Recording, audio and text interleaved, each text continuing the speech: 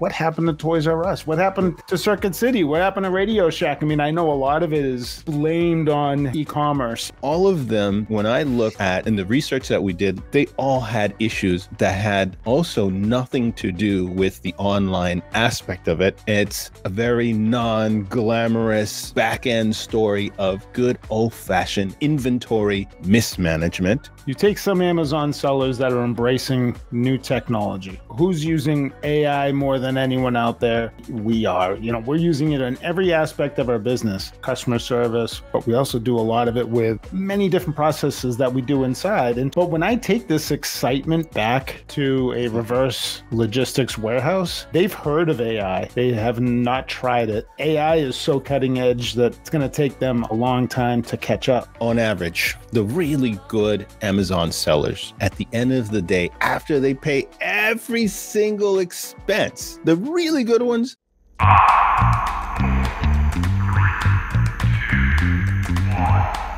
You're listening to. Welcome to What the Teck, your gateway to business strategies and tech secrets shaping today's workplace.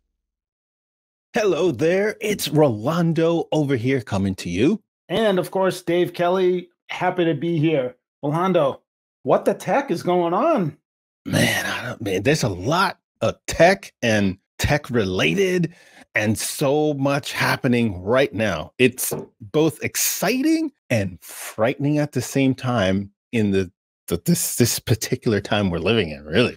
You know, you know so much is going on um, that you know it seems like you know a little bit of a data overload with everything happening and it's so fast the pace right no it's way too fast you know it makes you think of simpler times you know think back to when you were a child we didn't have we didn't have all this information overload. We had retail stores we had different types of community um no cell phones to no cell you know phones. give it to be going off and notifying us every every couple of seconds or minutes like right now i'm talking to you and something's going off on my computer screen right now uh distracting me from from the conversation i'm having with you. It's just something we did not have. Uh, do you you know when you went to college dave i'm just reminded about something what my first day in college in the dorms um, we came in early, you know, playing football. You know, we come in way before most of the students to to do our um, two a days and trainings and all that that type of stuff preseason. And I remember the uh, floor residential advisor, you know, somebody that's on the floor there that helps you out. They said, you know, you you're you're privileged because this is the first year we put phones in everybody's dorm room. I was like, yo, that's awesome. And that somebody could before it was the community phone, right? And everybody before it, it was the community phone. Everybody on the floor in the dorm shared that phone. So if somebody got a hold of you or tried to get in touch with you, they had to call that phone. It could have phone been on the end of the hallway. Hey, it's it's your mom, Rolando. Come down to the, you know, the community phone that hung on the wall. She's over here on the phone for you. She wants to talk to you. And then meanwhile, she already spoke with three three folks that live in the house. Like, Jason is such a nice boy. and now, instant communications from anywhere in the world, right? You know, it's crazy. There was there's a, there was a salesperson behind you know those phones, those phones that got deployed into every room. You know, that was a probably a pretty big project for someone that was, was ours. Side. Yeah, in ours it was Vidavi. I don't even know if Vidavi's still around. They may have gotten purchased, but uh, a lot of those phone manufacturers have gone away, which is kind of what uh, gets into what we're talking about. You know, doing the thing of selling physical products is not an easy thing, whether no. you are an online retailer or you sell offline, right? You know, and you have a storefront uh, in the real, in the non cyber world, right? And people walk into your store uh, and look at the goods and touch them and you know that's that got me thinking about how did some of these brands that you and I grew up with, um, you know, like Circuit City, you could walk into the mm-hmm. store. I bought many things at Circuit City. Radio Shack bought a lot of accessories over time, and like toy stores. You know, one of my favorite. I just remember as a kid, it was the toy store. You know, uh, yeah. Toys R Us. Toys R Us. Toys R Us, man. man. And I still remember that. Ori, do we have any footage on Toys R Us that we can we can reminisce a little bit about, and I'm sure that for for the folks that are probably younger and may not even know who Toys R Us is, let's share a little bit of that. Uh, and so if you've got your headphones on, listen to us with headphones. You're going to be able to hear this much better. Go ahead, roll that, Ori. I don't want to grow up. Toys R Us kid. They got a million toys at Toys R Us that I can play with. I don't want to grow up. I'm a Toys R Us kid. They got the best for so much less. You really flip your lid. From bikes to trains to video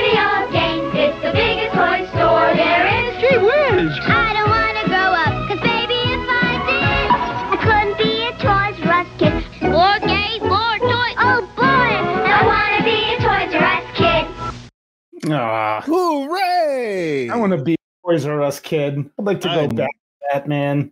Man, there's no way. I- There's no way Toys R Us. Could you have imagined that Toys R Us is a store you could not walk into today when Oh, you no. were a kid? Right, Man, I remember when my parents would talk about going to the mall and the so they would they wanted to bring you school shopping. You know, you really didn't, you know, when you were a little kid, you didn't really want to go school shopping. It was more of a chore. But then my parents, at least, they'd say, listen, we'll stop over at Toys R Us. You want to go to Toys R Us? You know, we'll stop in there. And I, when I was a kid going to going to the mall with the hopes of going to Toys R Us, that was like the carnival. It's like the mascot. They showed the mascot briefly. Who was the Yeah, mascot? Geoffrey. Rolando? It got to be Geoffrey. Geoffrey, Geoffrey. I the would- giraffe. So we were talking about the mascots. You know, I thought Geoffrey might actually show up at that store, but Mhm. just the idea of going there, you know, was just that I feel like that's just nostalgia. It's things that kids really aren't getting these days, you know, Right. that a feeling of walking into a store where it was for you. I mean, that was for kids. That was for kids. What happened? What happened to Toys R Us? What happened to Circuit City? What happened to Radio Shack? I mean, I know a lot of it is blamed on, hey, you know what, e-commerce, e-commerce, but I think some of these companies they went out of business, you know, before Amazon was all the hype. Well, let's let's let's. I've I've got the actual uh, dates that were at least when they declared bankruptcy. Circuit City, tw- two thousand and eight, Radio Shack, twenty fifteen, and Toys R Us in twenty seventeen. All of them have tried to make a comeback one way or another, but you know, Amazon didn't go online until I believe it was nineteen ninety nine, uh, and over time they did add more products and then and more online retailers came came into the space Yep. but all of them when i look at uh, and the research that we did they all had issues that had also nothing to do with the online aspect of it it's a very non-glamorous back end story of good old-fashioned inventory mismanagement Yeah. as well as those other factors that we talked about. But it was interesting to find out that Circuit City had issues with inventory. Um, Radio Shack also ran into issues with inventory, and Toys R Us was no exception in this list, also had issues with inventory. And you know, Dave, I'm reminded of a story um, that Daymond John had for one of the Shark Tank Shark Tank con- contestants, if I could say that. Shark Tank contestants. Uh, and he passed on this contestant because he knew that the climb was going to be very difficult when it came to managing inventory. This particular woman was, uh, she had a very interesting line of bathing suits, and he passed on her because then he outlined all the challenges specifically about how to manage all the different SKUs and what happens with returns and year two and year three and year four. Clothing. I mean, Daymond's going to know about the clothing industry, right? Exactly. He knows about the clothing and he talked about very matter of fact on how are you going to go about not just managing this, but having a roadmap on years beyond one, two, three, or four, because as you could throw money at this. And now instead of a $1 million problem in inventory, as you grow, you have a $10 million problem and then a $40 million in year four or five and six. And so as you keep going in time, if you aren't doing not just a good job, but an excellent job of managing that inventory, it all of a sudden becomes one warehouse you got to manage, two warehouses, three warehouses. And a lot of those warehouses have products that are mixed in that are either old, discontinued, um, to be liquidated kind of merchandise. And now your profits get smaller, get smaller, cut, and get cut. And, and, that's what he was trying to convey to this, right. to this woman that the profits get eaten up by inventory. And we could have cited several more companies that are brand names that also had this big issue with inventory. Uh, and it's uh, it's not really a sexy and glamorous thing to talk about, Dave. No. But it's interesting that that thread repeated itself among 10 other companies that I had researched that inventory played a role in the demise of these companies. Yeah. Yeah. Well, I mean, we have a lot of those challenges. You know, I've I have asked other organizations that are in our space how they manage product returns. We're not getting it. It's almost like they're like, eh, it's kind of like an, this afterthought. We, I've asked some of our partners, how do other partners of yours that are doing what we're doing, how do they manage their returns? They don't know. They don't know. So I, so I think that's why we're trying. Why we thought it'd be a good idea to have this conversation is like Daymond he may have thought that that product was phenomenal, hot seller, right price point, was going to fit in with the trends. But even if you know that product is hot and sexy, if you don't have some sort of a management with that back end, with your either inventory supply mm-hmm. or what do you do with the inventory of returns? I mean, he was smart enough to back right out of that. He'd already been down that river. He'd oh, already yeah. gone gone down that path. And and whether it's so it's whether you're in fashion, whether you're in electronics, uh, whether you're in some other space, anything that deals with a with a physical product, there's a percentage that are always going to not like it, going to re, you know return it for X Y breaks, and it gets damaged, and you have to account for that because if if you look at the profits, I'm told that um, on average, the really good Amazon sellers at the end of the day, after they pay every single expense, the really good ones are doing 20% profit margin. 20%. Mm, that's, That's nothing to get crazy about. So if you're doing an excellent job, 20% is what at the end of the day you take home. And so if inventory eats up into that in year number two, three, four. You go from 20 to 19. And sometimes it just kind of creeps that way because there isn't the oversight, there isn't the data, there isn't the analytics, there isn't the system in place. And that's what we've learned over the years. Uh, and, you know, we spend quite a bit of time uh, a week discussing it, analyzing it here, this uh, having inter uh, having intergroup discussions with customer service, with our logistics people, uh, with our warehouses, with our fulfillment partners, all along every week. Because that's what it, I would say, Dave, that's what it takes. Because there's data that's outside of your own bubble oh, yeah. that you just don't know or don't see. but if you don't have the information, like, um, you know, there's a product that, that got returned and it's piling up at the reverse logistics warehouse over six or eight months. And this happened to us uh, a couple of years ago. We went to our facility that handles the reverse logistics, and they had cartons of stuff that were returned. And we were like, what happened? Right. Why is this just sitting here? You remember that, Dave? I do. I do remember that.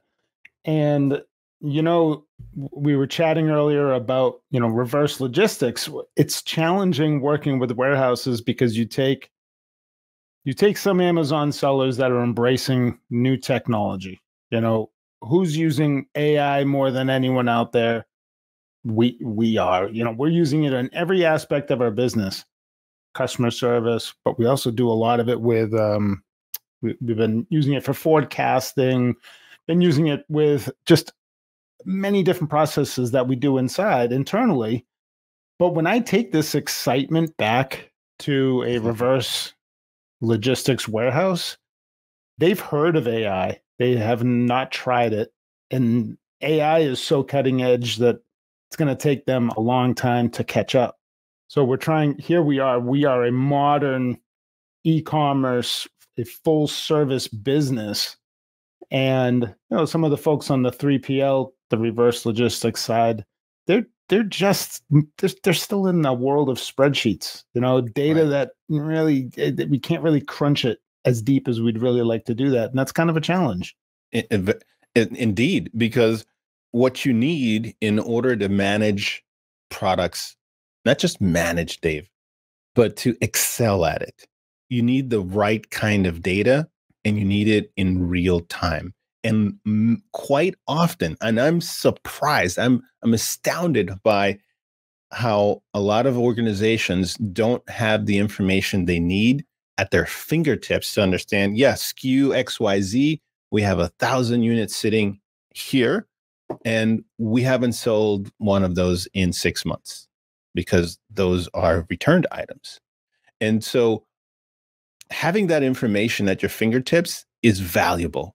And then having the plan of action which i think where the breakdown happens um, i saw something the other day where something like 60% of data is not utilized by organizations. Hmm. so it's just there it's not being put into any action it's not visible because we are drowning in data so to speak so what what i what we've been able to do is put the data we need in front of the right people. And a lot of times, the people that hold that data or have that in front of them then communicate about, hey, you know, we we're starting to see a blip in this. And then that information gets shared with the different teams to then take actions. Because if you have stuff that's coming back and now you understand, oh, with a the the manufacturer put the wrong label on it. Right. Now you know how to correct that problem. But quite often in a lot of organizations, especially as you get larger with more management and more SKUs, that's not my department. That's not my problem. Right. And over time, incrementally, one SKU, two SKUs, three SKUs, five SKUs, and then you get this big problem of what do we do with all this stuff? Okay, let's liquidate it. And well, sometimes it's hard to liquidate merchandise that's old um, sure that's is. not not fashionable if you're in the fashion industry. Sometimes, uh, if it's if it's electronics, it, it may be you know, too old. Um, or there may not be enough demand. So you may never collect on it. You may get pennies on the dollars. That's why systems are important. And I know for us, one of the things that we've been able to do that's worked is to try to connect as many of the data points to a central source of truth. So we have a, a repository of where all the orders funnel in, where all the inventory information comes in, where all the uh, inventory going out, because that's just as important to know where is it going out as well as it coming in. And that lives in one centralized location. And then people have access to the different points so that they can understand whoa, we've got an issue here. We've got pallets sitting here and piling up. Um, otherwise, you know, Dave, these a lot of the warehouses, and we work I, I want to say what at least 19 different warehouses, one in some form or another, mm-hmm. um, that's doing either reverse logistics or fulfillment for us. And when you don't have the visibility into those facilities and what inventory is there, things could get really out of hand very fast. and they all have their different systems they all have their different ways of fulfilling of shipping of cutoff times and and the more skus that you manage the more difficult it is mean i think about what walmart's been able to do you know they're a physical retailer they're also online now they are known for their fulfillment and logistic systems and they've invested and keep reinvesting because things change over time and to excel in the space of physical goods where inventory chews up cash flow like it's nobody's business. It's the one area where you can exert the greatest control over as a as an enterprise as a company even as a startup because inventory for us it's the most expensive uh, line item when it comes to expenses And yep. I would venture to say that it's like that for most folks that are, uh, whether they're starting out, whether they're going online. And I would I would say um, this is probably the same for those three brands: Circuit City, Radio Shack, and Toys R Us. Had to be one of the biggest sources of, from a cost perspective, that that they were that they were holding on to on the books. Um, sure. And so, with, without a really good way of having visibility, of having the people in place, and having um, these systems work together, because they, you know, somebody's on one system at this warehouse, and then another one over here, and then another over here. Um, you know, I'm reminded of the one of the facilities that we worked at uh, with um, Dave. Um, they weren't uh, able to keep track of the different bundles that we have, for example. I remember. And their system, and it was a very elaborate system, didn't account for all the different variations of the bundles.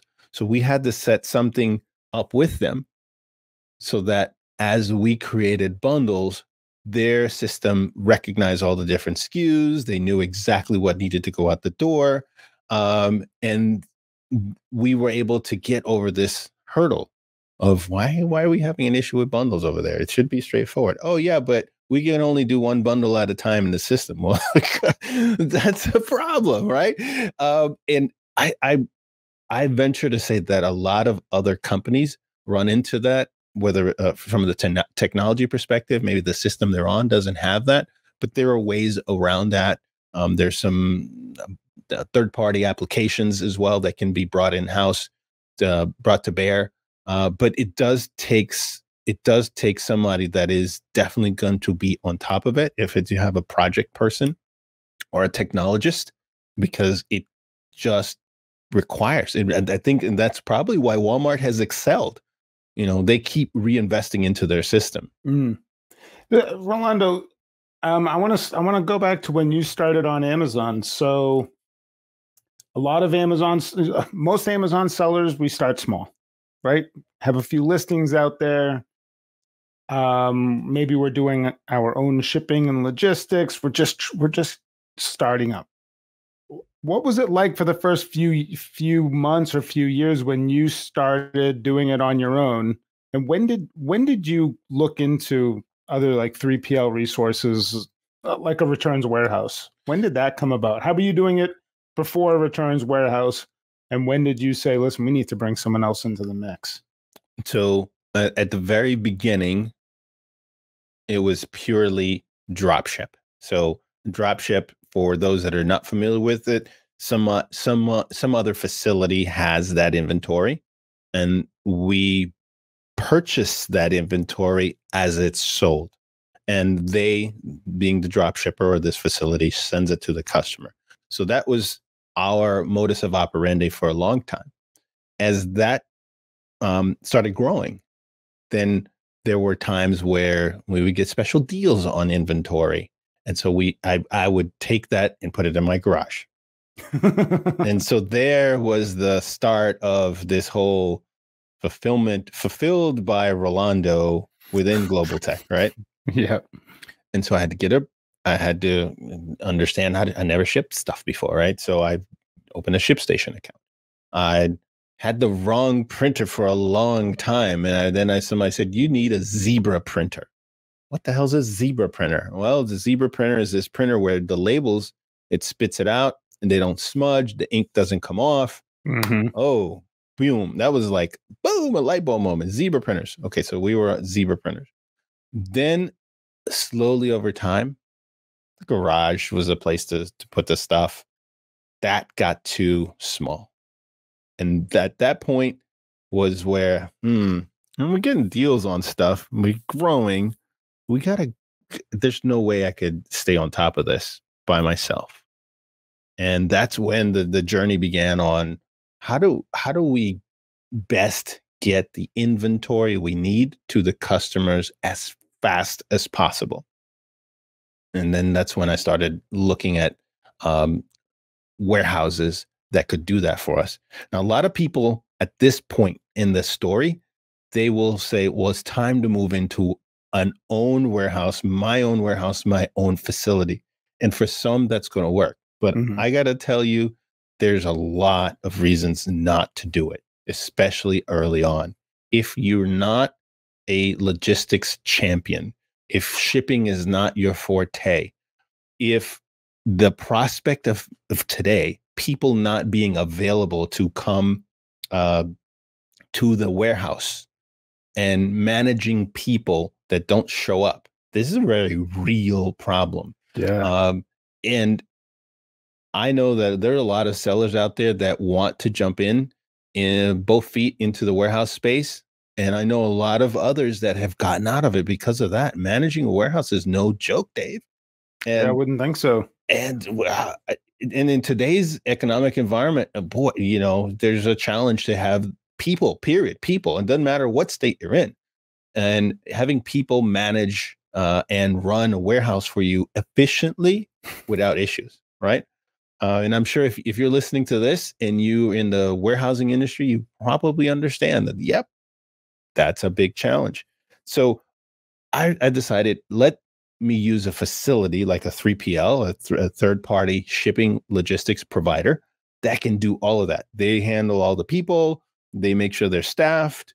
I don't have to worry about that. I don't have to worry about buying a warehouse, the capital required. And that's the thing. The dollars you have you want to try to reinvest that back into the business, you can do that by acquiring a warehouse and you you you manage everything from A to Z if we were to use the Amazon words on that. Or you decide you know what? I could redeploy that cash a little better if I can maybe have the right people in place or systems in place or automation uh, or back end systems and that's the route I decided to take is that I bet on on automating, putting technology, putting back end systems. Because if I could do that, I can, in the long run, I can absorb more orders because I could turn them around more quickly than scaling up a warehouse. Scaling up requires a lot more capital, a lot more people. And if you invest in robots, it's a whole different story, but that also requires a lot of capital. Sure. So technology was for me the avenue to grow and to do that efficiently without tying up as much capital as possible. You know, as you continue to scale this business, when you're in this retail world, you can always expect on there's always going to be a return. You know, first, if you're on Amazon, we need you need to offer people some sort of sense of mind that hey listen if this doesn't work out for you you can return it. I think that's what a lot of people like about amazon. They know that if they make a mistake they can return it and they can do it from the comfort of their home. I don't i don't see many shops that don't have some sort of a return policy. Sometimes there's a boutique that will say you know 10 days store credit only whatever it might be. But i think for the folks that are really scaling out here in the e-commerce space the more you sell expect more returns. Now, we're I, I, think we're in a good space where the percentage of returns may not be as high as others. I think it was you that said clothing is one of those things that yeah, is I mean, it's a, a lot of high. a lot of um, a lot of clothing, uh, especially clothing that um, where where females buy. They'll buy two or three sizes to make Just sure to that they're um, they've got the right size on, and they'll send the ones back that they don't need. Sure. I know that's the case here, you know, for my now I just yeah, give me two or three. I'll I'll pick I'll get the right size. Oh yes, that's the right one, and then send back the rest. But and we don't as consumers don't think about it, but as a business, um, without the proper oversight, without the proper systems in place, without the proper visibility, and then analytics to tell you, hey, things are piling up if this keeps going this way, you're going to end up with, you know, X amount of cash tied up. And so having returns chew up profits is not a very glamorous thing. It's not a good thing. Uh, and it requires constant um, vigilance, really, uh, of course, over that piece of the business. Because, uh, bo- uh, as I read, Circuit City ran into this issue. Radio Shack for sure ran into this issue and you know in the toy business you know people do return stuff and and people you know pile the inventory for toys r us piled up um as well so it requires a constant constant monitoring of this because at any moment, and some of this is more cyclical, right? If you're in the toy business, you're probably going to get more shopping and done in certain parts of the year. Um, whereas maybe Radio Shack and Circuit City, their stuff is probably more level. And on a Black Friday, things probably go through the roof. But I don't think we had Black Friday in 2008. I would have to go check if we had that. But uh, so being able to have visibility into that part of the business that's not very glamorous instead of just sending stuff off to liquidation is a much better approach because you're better able to understand than on the front end when you're buying things where you need to hit the gas pedal or the brakes. And that's where part of the feedback loop that sometimes doesn't get tied in. The, then the folks handling the reverse logistics or returns or warehouse, that information doesn't get back to the people that are buying, right? So now, if you're a bigger business, right? Imagine this, Dave. You instead of being responsible for a million dollar worth of products that are being acquired, you've got $10 million or $30 million or $50 million if you're one of these larger organizations. A mistake can cost at that level could be catastrophic. Oh, yeah. Could be detrimental. It could also be detrimental to the small business where, you know, a million dollars or half a million dollars in inventory can sink you the mistakes are just magnified um, that much more when you're talking an organization that has multiple departments, multiple layers, uh, different offices, and, and and that could be just just a, just a fatal mistake that that could cost the operation. And then think about the number of people that are part of an operation that are constantly buying. Right. If they don't get this feedback loop of right. hit the brake pedals because the the cash flow is getting tight because of too much inventory because of things not selling as well as things being returned. And then over time just think about that dave accumulate six months ten months a year two years four years five years six years and then you find yourself in a situation that Daymond John was talking about. Right. Well hey you know some of these folks their their job is to buy. Their job oh, is oh, yeah. to buy. So if it's now time to not buy well, the people that are doing that job, it's like, well, we don't know how to not buy things. We know how to buy things. So they, yeah, so they maybe rush and make split decisions. These, I know within the real retail space, everyone tends to blame e-commerce and Amazon, but I wholeheartedly believe that Toys R Us, Circuit City, Radio Shack, just those three, they could have coexisted within the same marketplace you don't always want to order online. Like I asked you earlier today, what was the last big appliance that you purchased? At, at a store, and that was store. that was um, at Best Buy. I right. went in and looked at all the TV screens, and I wanted to see side by side what they looked like, what the picture looked like. Yeah, and that's how I made the decision. That was probably like seven years ago. You know, I think a television is one of those. Th- I've never bought a television online. I've done the exact same thing. I've made it a day of it, you know? Like mm-hmm. uh mm-hmm. like my parents used to lure me in to go into the mall by telling me that we're going to take make a 2 second appearance at Toys R Us. My wife would say, "Let's go out for lunch and then after lunch maybe we'll go look at TVs." It's like I want to I want to look at some tech. I want to see what's on there. So mm-hmm. I think with something like that it's nice. It still serves a purpose to go into a store. Now someone might say, "Hey Rolando, the stores were there so that you could go compare the models with your own eyes, mm-hmm. and then go home and order it on abc.com, wherever wherever it might be. You know, and that's where the salesperson comes into play, and they need to show their value so that they can sell their customer. It's just a, it's a shame that some of these stores could have coexisted, but like you said, it's not good inventory management. Yeah, it's going to keep about, you away from this, trouble. Dave. I remember going into Circuit City and went before the end happened, and I was thinking, you know, is something wrong here? Because I remember a lot of shelves being empty, and it wasn't a really? Black Friday. It was not on a one of these big shopping days. There wasn't a lot of foot traffic as well, and those two things are not very good. And and from what I see here, I've got. I'm just going to read you this this clipping. It said Circuit City failed to accurately forecast consumer trends and ended up stocking up on goods that were not in high demand This led to a glut of unwanted products and significant losses when they were focused, um, I'm sorry, when they were forced to discount these items. Again, so profits got hurt because too much inventory, not the right one, not being able to forecast these. I, I almost have a love hate relationship with the word forecast because that's what everybody wants in this hardware industry. They want to know the forecast. But then ultimately, they were forced to discount those goods, which means less profit. A business is in business to make profit. And if profits get eaten up because inventory and inventory management systems aren't up to up, up to par, then in their case, it led it it can it just kind of pushed them over the edge, right? Right. Even though they had a big brand, that's the thing. The brand alone wasn't able to save them.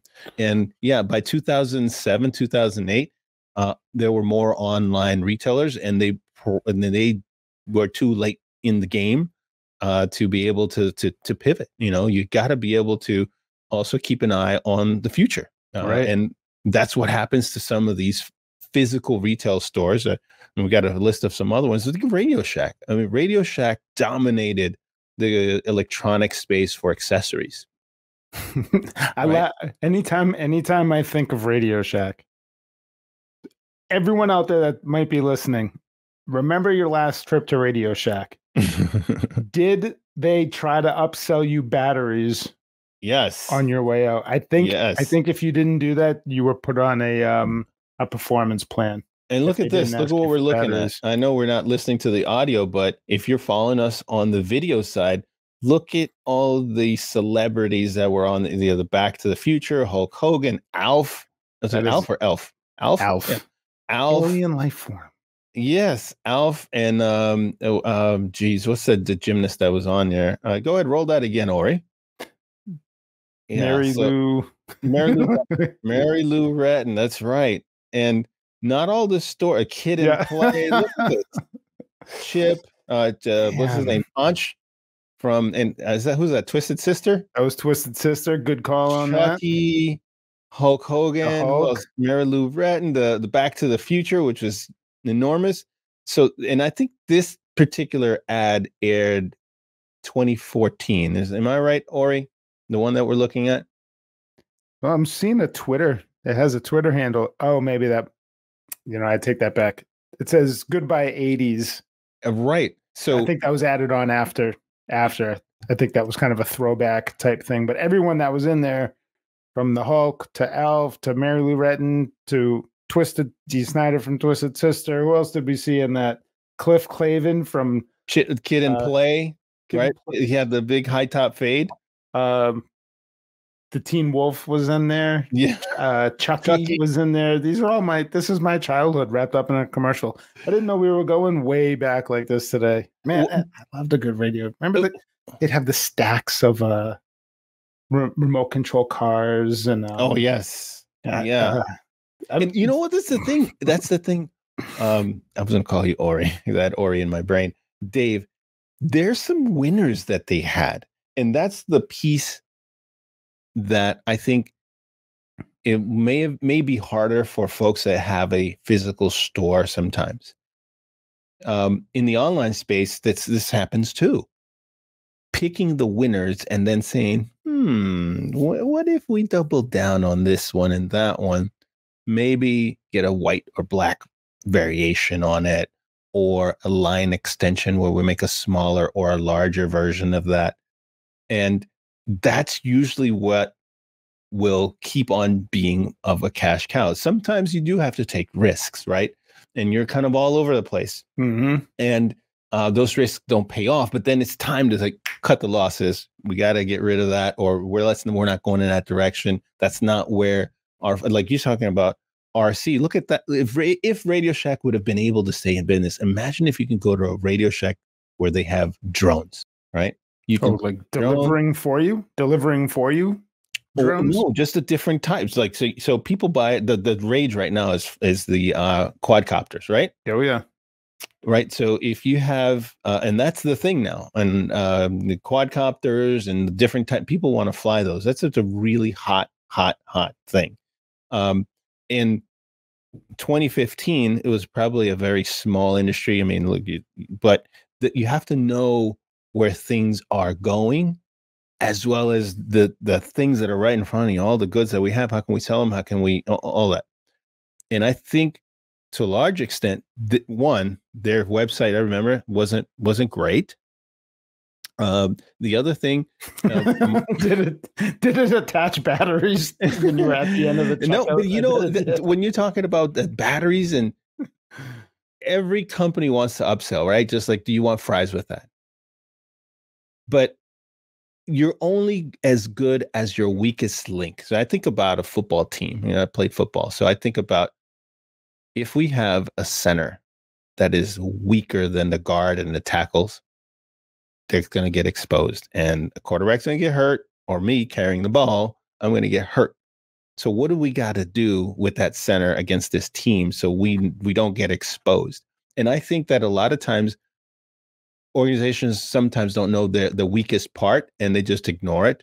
And if you're walking into a store and you're getting you know badgered as you're walking around you want batteries all the time. You know your experience isn't great. You don't love it. You're going to go somewhere else.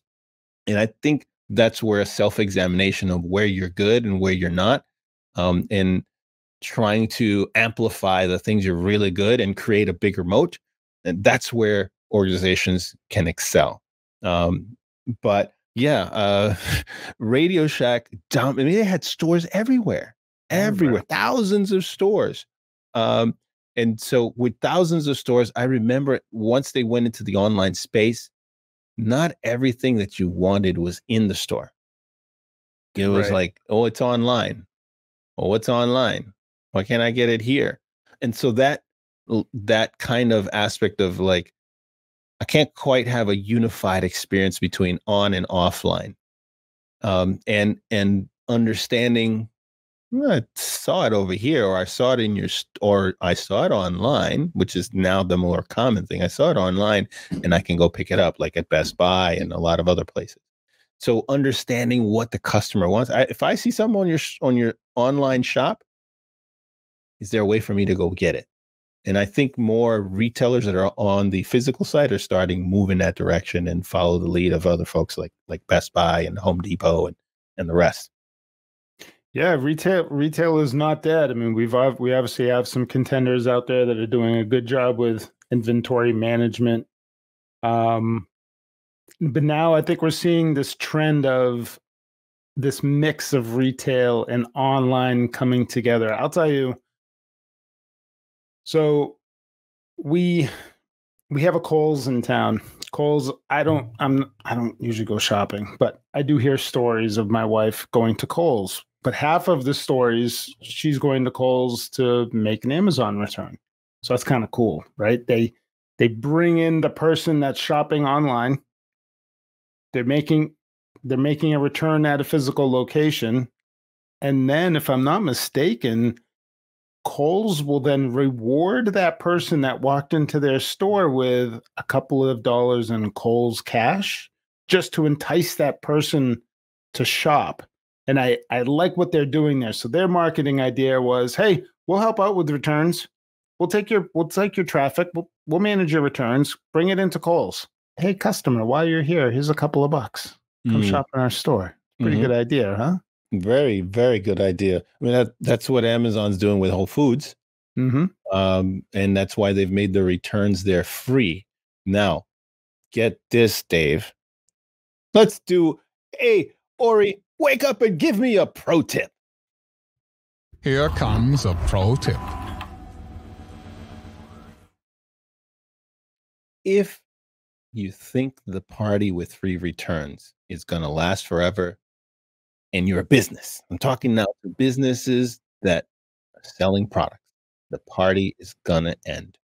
Um, Amazon has already signaled that for returns, they are going to charge. They've already started that. Uh, not all returns, but this is a beginning. This is only the beginning. They're charging for returns. And so if you're returning something through the UPS store, they're going to charge you for it. Now, I would expect that uh, I should let me let me rephrase that. I would imagine that one of the reasons that Amazon is doing this is that returns are eating into their profits and they eat the profits of every organization, no matter what you're selling.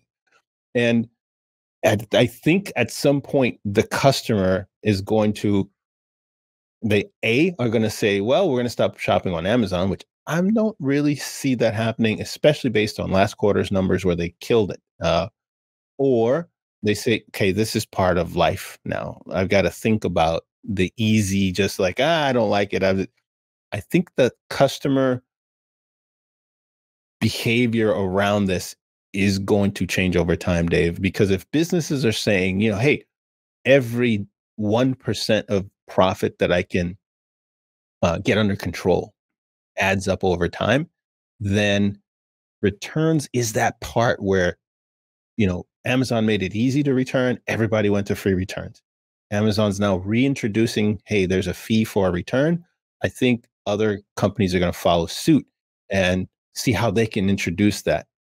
Others may see it as an opening to say, hmm, Amazon, you're a bad guy. You're charging for returns. what are you thinking?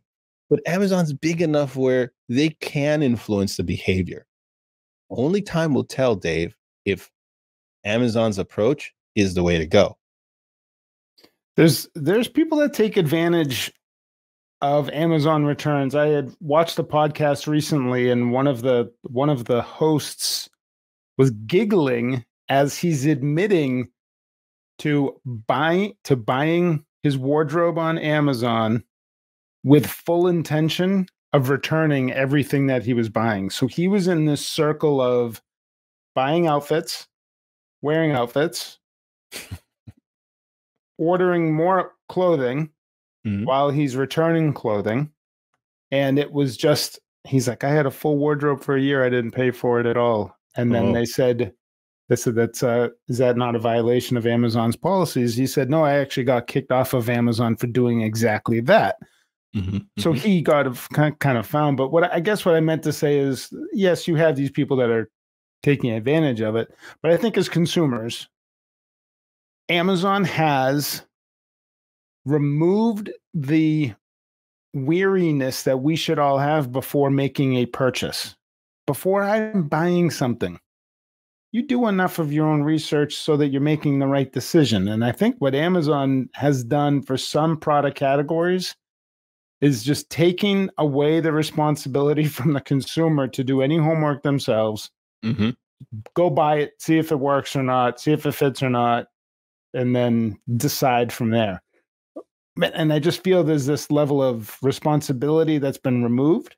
Um, we sell high ticket items. We want we want our customers to to obviously be thrilled with what they purchased from us, but we also don't want customers to haphazardly buy a high ticket item and say, I'll figure, yeah, if it doesn't work, it doesn't work. It's like, hey, there is a business at the other end of this. And some of these businesses aren't billion dollar organizations. You know, well, you know, Dave, I think some of what you're saying as well, and one of the frustrations as a customer, if I put myself in, in, my, in the customer role and shoes of that, when I get a product and I'm not sure what to do, you can say, ah, hell with it. I'm going to return it but I think a lot of people don't have very good options. I know I've tried with multiple companies to get in touch with them, and the mm-hmm. phone number to get in touch with them is hidden. It's somewhere on their website, but so hard to find.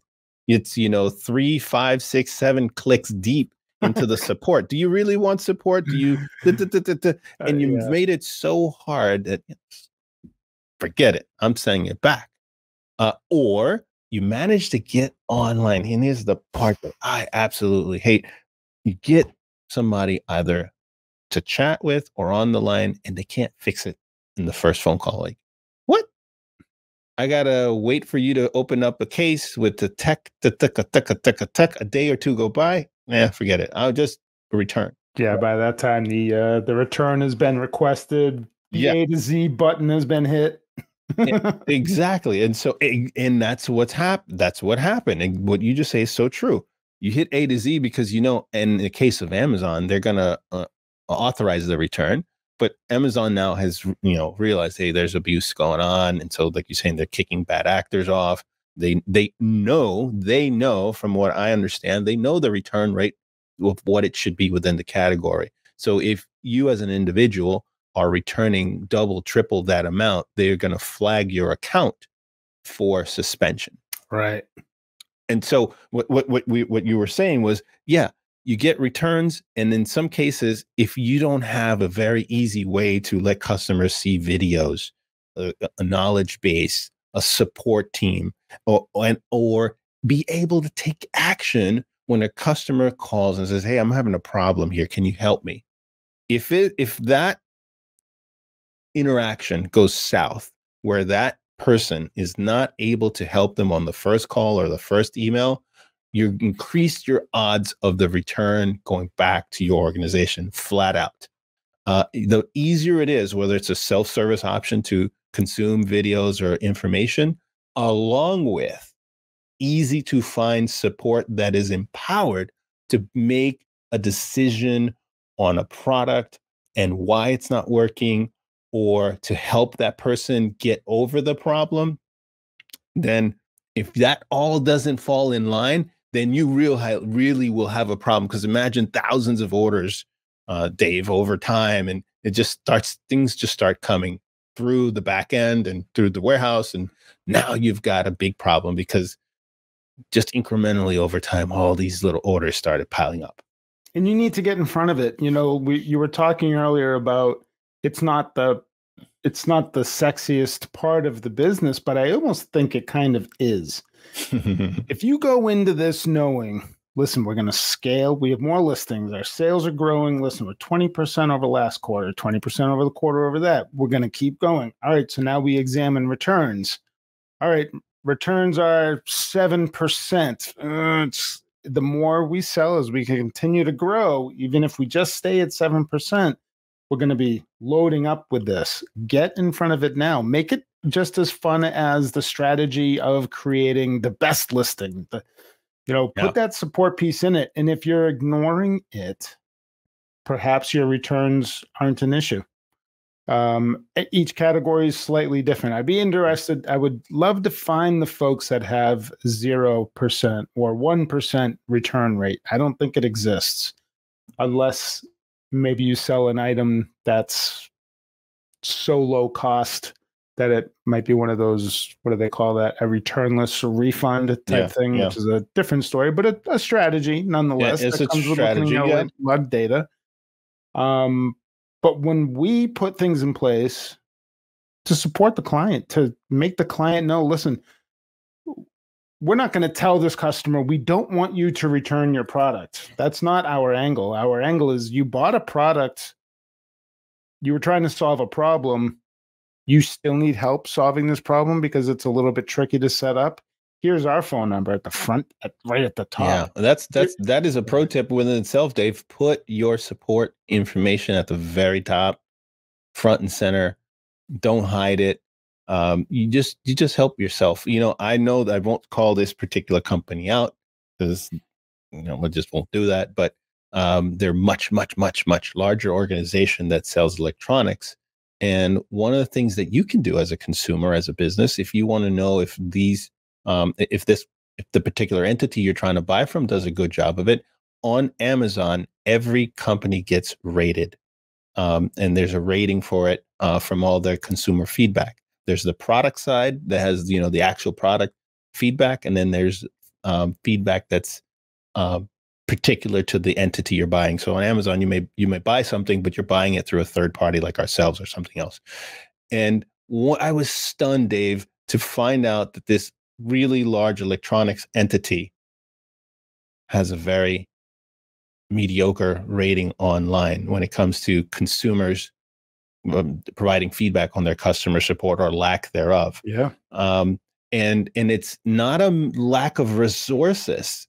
It's just a it's it's just when you get the problem how are you addressing it are they empowered to fix it or you know what what we've done that's helped a lot is when we get those customer returns you know we go we we go over them you know what are they saying well they said that you know the uh, cable that came with it is not clear or they don't understand or they may say some variation of that and sometimes that is the signal the bat signal to okay how can we make the product we're selling um, either more visible or that aspect that is causing the problem to be more visible. Hmm. And it's maybe as simple as an insert or as simple as a QR code or as simple as on the website when they order it to make it very clear this product you need to do X and then it turns on.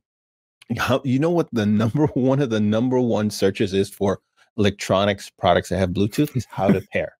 Number two, how to mute. Hmm. Number three, how to turn it on. I can't kid you not. Look, you just look at do a search for a particular electronics device, you know, how to turn on your iPhone, for example, how to turn off, how to mute, you know, a, a headset, how to pair, how to you will find an inordinate amount of videos online for those three things. That's crazy. Yeah. And, so so what was your suggestion? Something like I like what you were saying, like an insert something simple. An, an insert, uh, certainly a video, because people are reading less. I'm, I'm, guilty of that myself, mm-hmm. where I'm online, I want to look at something and, and I want to see myself turning it on, knowing what's in the box, which is you see a lot of those unboxing, that's where a lot of videos end, Dave. They end at the unboxing. Okay, now I know what I'm getting. It's the more complicated, obviously, if it's something very simple like, you know, supplements or something like that, Okay.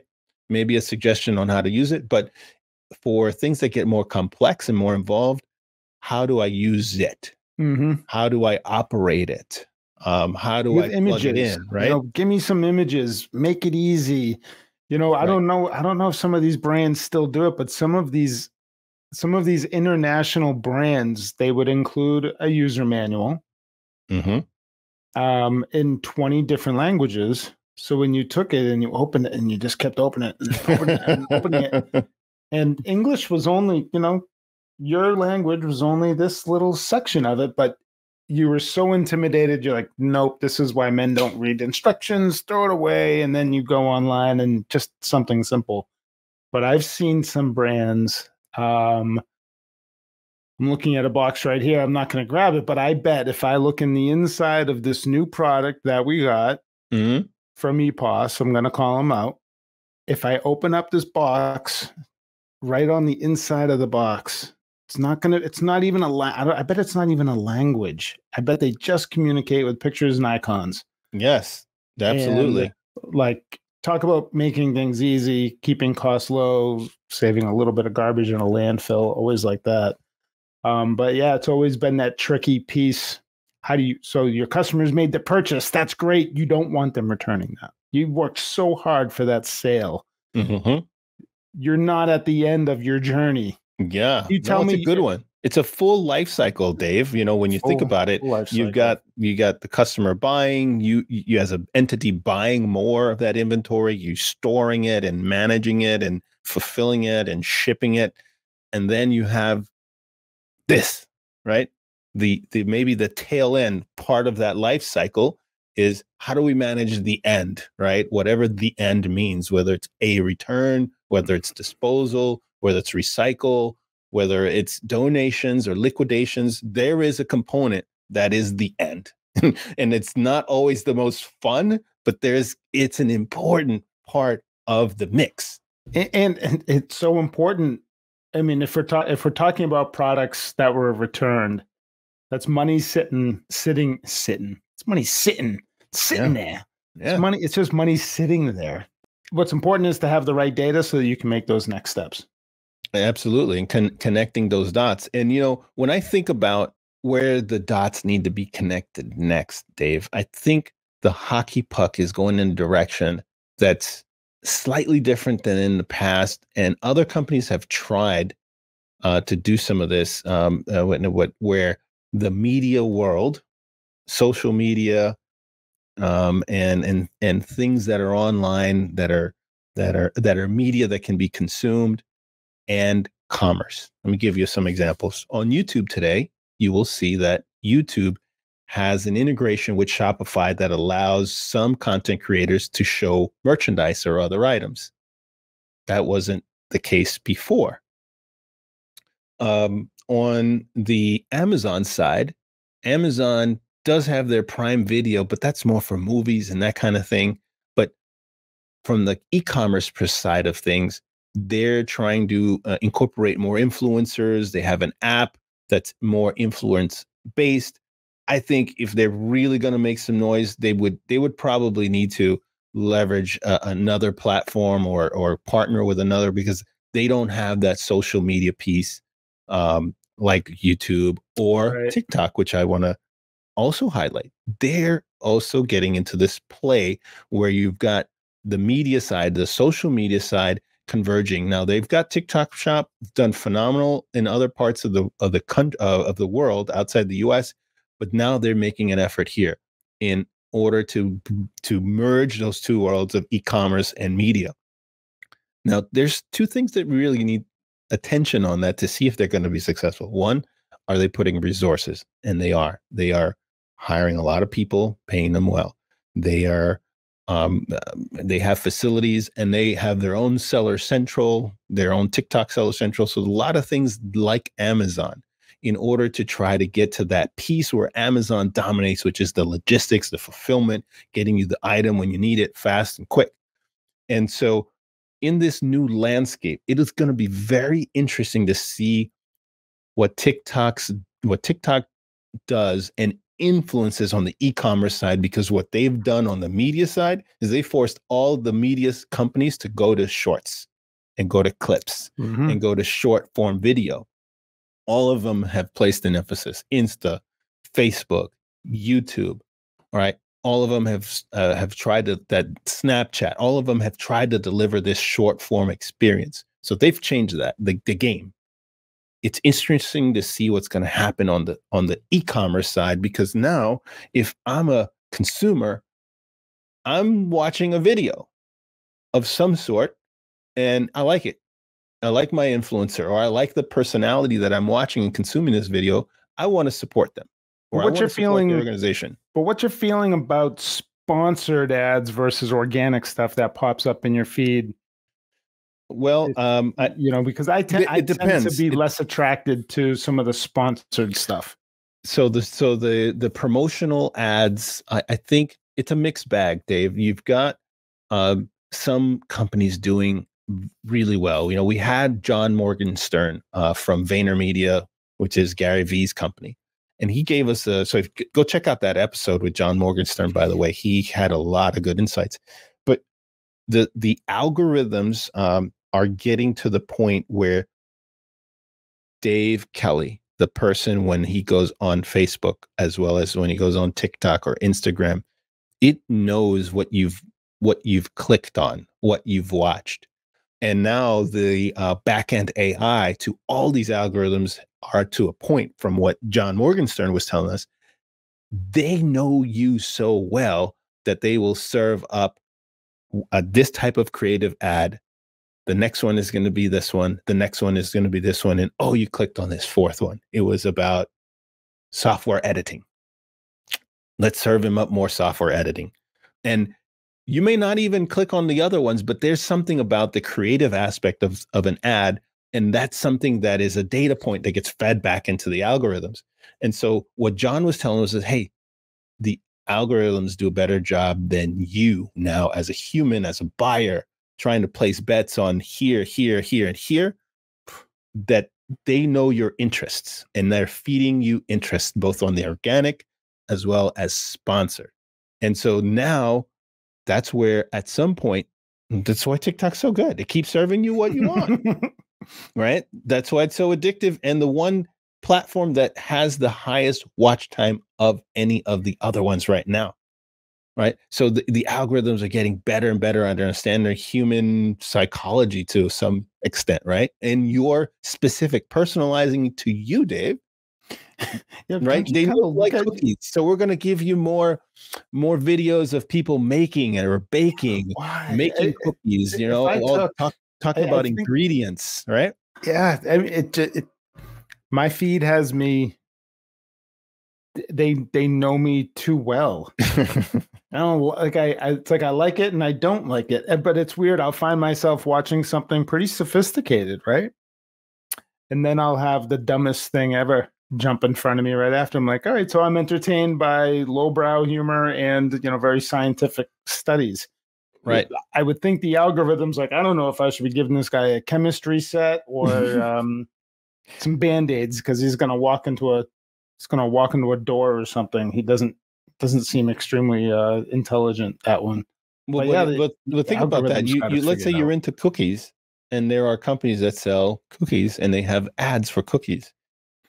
You may not necessarily go after the first ad or the second ad, but the third one catches your attention because maybe they're they're more scientific about the way they are doing their cookies, or because They they're it's more humor based, Right. right. You know, ha ha ha! I, I burnt my cookies, blah, blah, but if you use this wonderful tool, it'll never burn, right?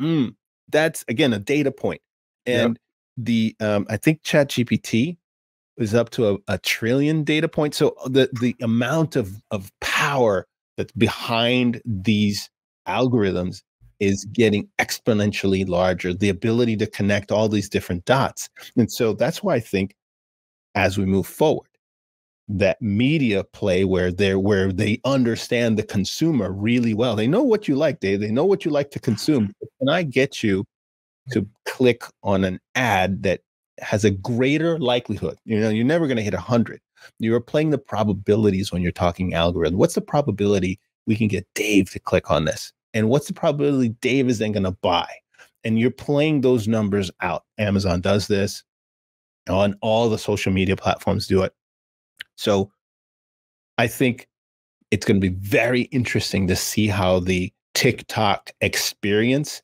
is going to play out because e-commerce is not their thing. That's Amazon. Yep. You could throw Walmart in there, although Walmart's a very far behind. They're a number two player in the e-commerce space, and but they're further behind. But they're really good at logistics. You know, how's the FBA-ish situation? Because fulfilled by TikTok is not going to be the same as fulfilled by Amazon, right? That's where right. where Amazon could get you something now today. I've, I've started seeing on on Amazon. I can get some. Oh, it says delivery by 9 p.m. today. I'm like, great. and they didn't try to upsell you batteries. but So they, what- they- no, but they they try to sneak in something other things you may be interested in. They do. Yeah, I'm I'm starting to see that now. Though, uh, what did we get recently? Oh, you know what? I think it it may have been one of those food programs, like a um, Like a meal plan type of thing. yeah, meal plan. I can't quite remember, but in the box it was like um, hey, try try some of these energy bars, and uh, have you tried this? It, they just gave you like a couple of samples with some coupons. In hopes Sounds like what Kevin King told us too. driving- He said something like that. That you know the thing that he sells, and and the bestsellers he'll send a sampler package Yeah, uh, bundled in with some of the other Right, items right. to see if you can get uh if you get hooked on some of the the little um sampler items and then buy and make a purchase on those other items as well. hey, you're trying to make um repeat customers and fans. Hey, if you can get that repeat customer, that's a pretty big deal. That, no doubt. And so we're we, we're we're talking about Walmart, uh, and you know you got to throw eBay. I don't know what's going to happen. You know, with with eBay, they're they've found a Hmm. niche in the automotive side, and um, you know they're hanging on somewhere. You know, I think the space is going to get very crowded if things go in this direction where the media companies and e-commerce either merge, converge, or the media companies muscle their way in as a like what TikTok. They're they're they're not partnering with anybody. They're doing it solo. It's gonna have to eat into something. You know, the pie isn't an unlimited pie. You know, I I, could see maybe um, an entity that's looking for an e-commerce play and buying eBay. That could be very Yeah, interesting sure. uh, because they come in with the infrastructure and software and people and know-how, uh, and now maybe a retailer that didn't have that infrastructure is set up for that. Although eBay doesn't have fulfillment centers, ultimately, I think it comes down to that.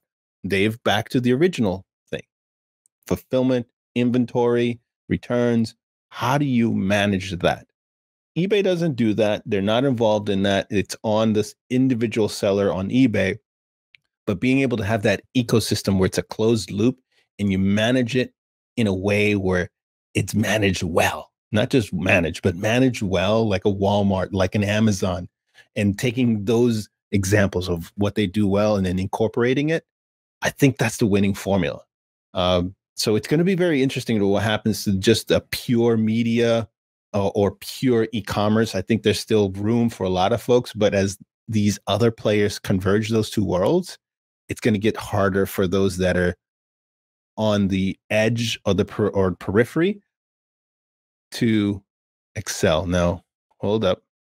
Something went kablooey on my end. Oh, that was weird. Um, so that's that's what I think will happen. It'll it'll be interesting. Um, this stuff could happen overnight. Uh, sometimes things take a little while for for them to shake out, but I, I think we keep an eye on TikTok and see how they're able to shape the landscape. We keep an eye on Amazon because they have a lot of influence. Um, there's a there's a there's a possibility that they're going to be taken into court by an antitrust lawsuit. Uh, it's being thrown around a lot in the media so at the time of this airing, we'll see uh, what happens, you know, a year or two from now. If that forces uh, change on the Amazon side, I don't know. It's going to get really interesting here the next six to eight months. Yeah, I would say. And I would also say, listen, if you're an Amazon seller out there that's been in it for 10 years, or you're just getting going, or maybe you're a 20 year old, 20 vet, 20 year veteran, guess that's not possible. 99, when was Amazon? Nine, around 99. I think 99. 99. All right. So there could potentially be some 20 year old sellers out there. What I'm hearing, Rolando, is listen, if you're an e commerce retailer, full service retailer, um, or you're just dabbling in it, you might want to also think about a media team and um, your social media play because it won't all reside right here on Amazon. You know, John Morgenstern's talking about AI and the different data points from all of the places you're at, which could influence that Amazon sale when when your buyer eventually gets there. Man, there's there's a lot. Um, it's this living, breathing animal. There's so many different parts of being successful on Amazon and e-commerce. Um, you really can't let your guard down for a minute, can you? No. To think think about just to rewind the clock a little bit. Back in the day, you either sent stuff by direct mail, you put in a billboard, or you tried to get something in the phone book and you called yourself A1 Super Plumbing, right? Because you're at the very quadruple top. A plumbing. Oh yeah, quadruple A, right? Those people still send direct mail. Phone book gone, right? That's pretty much the dodo bird. Um, billboards, they're still around. You know, they they have some value, but um, and my point is that you had an omni channel back in the day, and that was your omni channel. Yeah, I guess you had radio and TV. The omni channel now is some of that, but a whole lot of social because more and more, I think the latest stat says something like 40% of searches for Gen X and Z all come uh, or Gen Y. I, I, I, I always kind of screw those two up. Um, the younger kids, uh, up to the age of 30, 40% are starting their searches on TikTok. Amazing stat. So Google has taken notice on that. And I think we're not going to go backwards when it comes to the consumption of media and where people start their search. Um, and I think having a well-rounded omni-channel strategy, as we said from our friend from VaynerMedia, uh, John, big props to you for for coming on and letting us know how all this is shaking out is that you know there's going to be more decisions made around what people consume online and then ultimately the click that comes as a result um, from consuming that social media all right. Amazing stuff. Well, Rolando, it was a really good conversation today. I know it was just the two of us. We'll be bringing on some more guests in the near future, but in the meantime, tell tell them where they can see uh, some of our other episodes. Who was our who did we want to give a um a shout out to or a closing?